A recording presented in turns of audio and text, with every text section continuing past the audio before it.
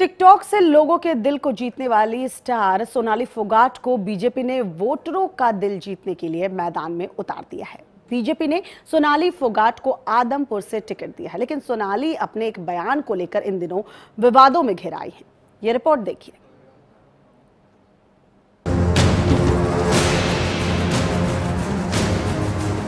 हरियाणा विधानसभा चुनाव में बीजेपी की टिकट से मैदान में उतारी टिकटॉक स्टार। सोनाली फोगाट विवादों में घिर गई।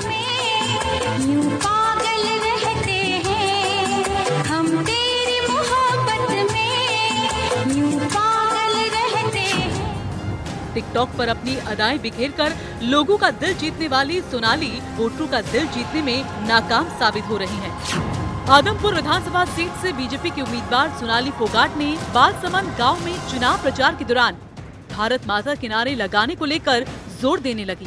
जब भीड़ में मौजूद कुछ लोगों ने ऐसा नहीं किया तो उन्होंने कहा कि पाकिस्तानी हो क्या हिंदुस्तान से आए हो तो भारत माता की जय बोलो। उन्होंने यहाँ तक कहा कि जो भारत माता की जय नहीं बोल पाए, उनका वोट किसी काम का नहीं। जिसको लेकर जमकर विवाद हुआ, हालाँकि विवाद बढ़ते देख सोनाली ने माफ़ी मांग ली है।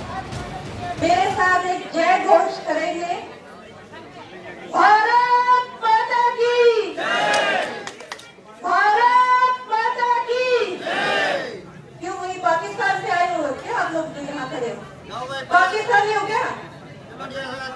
अगर हिंदुस्तानी हो तो भारत माता की जय बोलो अगर हिंदुस्तान के निवासी हो तो भारत माता की जय बोलो।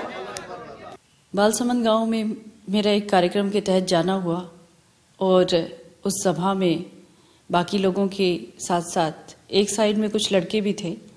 उसी गाँव के थे, कॉलेज के लड़के थे।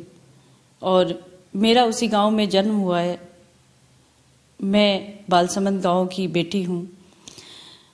और जब मैंने अपना संबोधन देना शुरू किया और भारत माता का जयकारा लगाया तो उन लोगों ने, यानी उन लड़कों ने भारत माता की जय नहीं बोली। तो मुझे गुस्सा आया और मैंने कह दिया कि क्या आप लोग पाकिस्तान से आए हैं?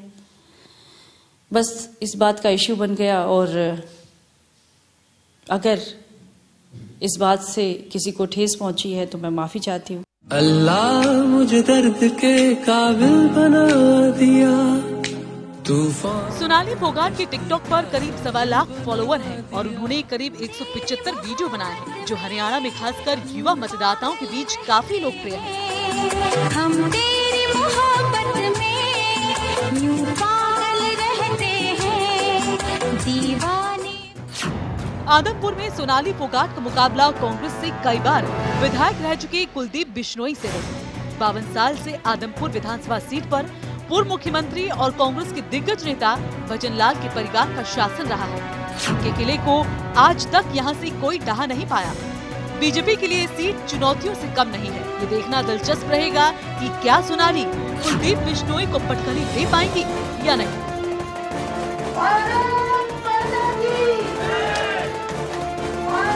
आर नाइन टीवी के लिए हिसार से राजेश कुंडू की रिपोर्ट। पाकिस्तानी हो क्या अगर हिंदुस्तानी हो तो भारत माता की जय बोलो।